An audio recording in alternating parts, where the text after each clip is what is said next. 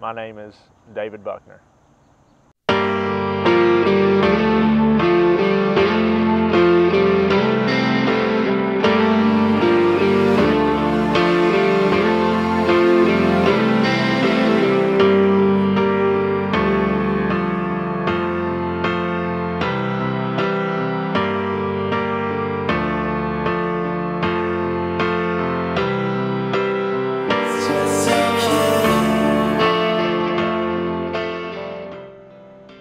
You know, I thought I had it all figured out the way that I should live my life, the things that I should do in life.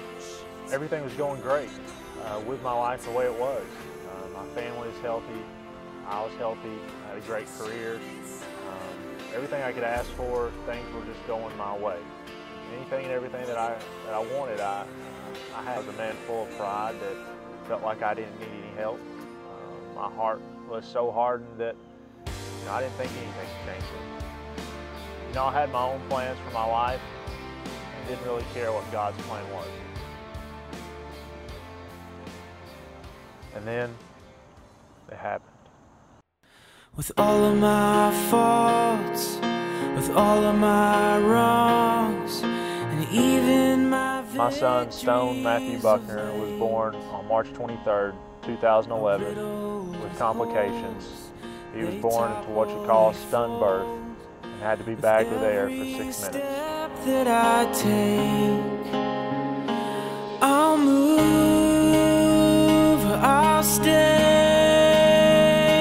I'll sleep through days when I should be awake. I'll lie, but this is the truth. I'm hopeless without you and tired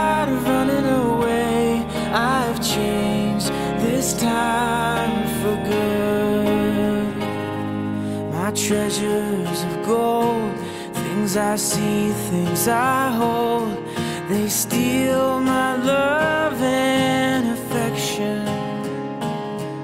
They're bought and they're sold, they come and they go, they never